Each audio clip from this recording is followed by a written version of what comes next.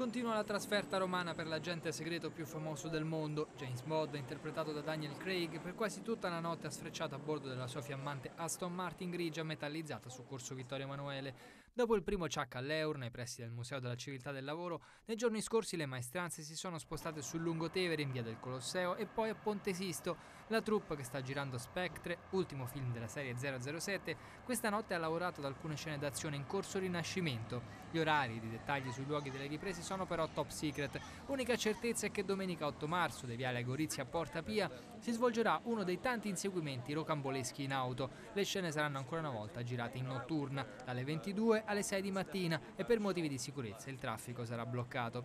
A proposito di traffico, dopo le polemiche e i disagi dovuti alla chiusura di alcune strade nel corso delle riprese, è arrivata la replica del presidente di Roma Film Commission, Luciano Sovena, che quantifica in 16 milioni di euro le entrate legate al film, calcolando anche le maestranze romane impiegate ed il costo dell'occupazione del suolo pubblico che dovrebbe portare nelle casse del comune circa un milione di euro.